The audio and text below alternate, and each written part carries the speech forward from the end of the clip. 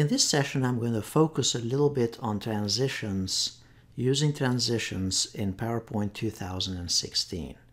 So supposedly we have a PowerPoint or presentation very similar to this, and we want to change the transitions from one slide to the other.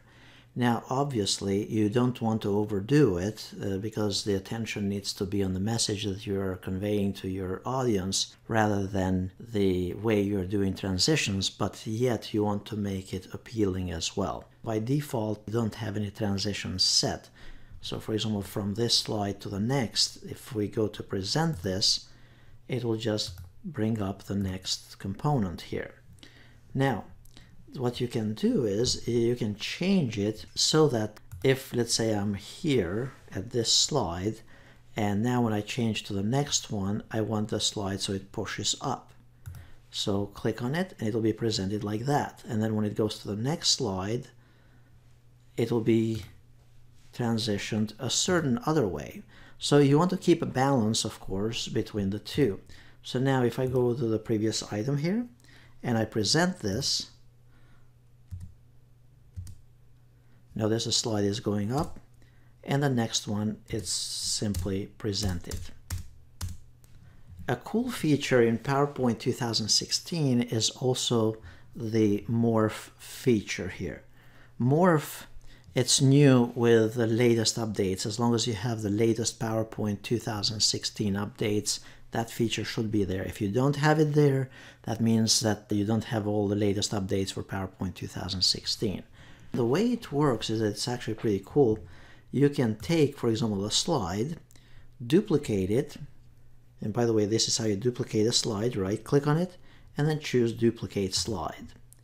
And then go to this next slide here, and you can change something on it. So let's say on the first, uh, when you're presenting this particular slide, you want it to be presented this way, but then when they go to the next slide, you want to take away, for example, number two here item 2. And let's assume that you modified it basically.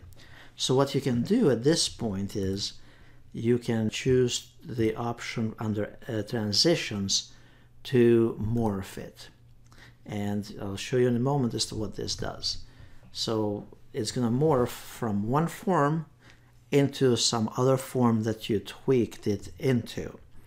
In our case now, if we were to preview this, you can just simply click here on slideshow and this is how the first slide will appear just like typically but when I go to the next slide notice how it does the animation so that those two items are adjusted keeping in, in mind the change that took place from the first slide to the second copy of it that we made. So basically, again, to, for me to summarize this or to do this again, I'm going to delete it for a moment here.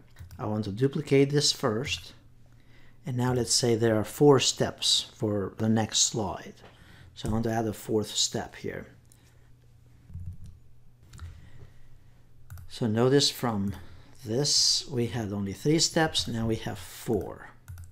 And this fourth one here, and if you remember you can go here under design and choose design ideas and change this however you want as well. So notice it gives you some ideas as to how to change this. So you simply click on another design format and let's say I like this one. And by the way, ref refer to the design ideas video on how to use the design ideas thing. But basically we had three stages here with the original slide. We made a copy of it. We added four steps to it and now for the original slide here, we go and apply the transition, the morph transition here.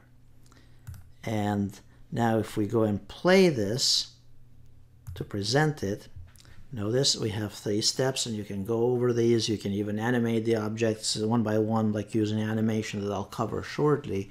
But now when we move to the next slide, notice it shifts things around and it, it makes it more presentable and more appealing as well to the audience. So you have that kind of animation from one slide to the other. So watch the video again It's basically you have to duplicate it, that's the trick. Duplicate an existing slide, add new content to the next slide, and then the system will animate or change the morphing the changes into animation and presenting it in a nice way. Remember to also use under the design tab use the design ideas option here. Now obviously you can use additional animations here you have those as well and remember that you can utilize here other effects as well.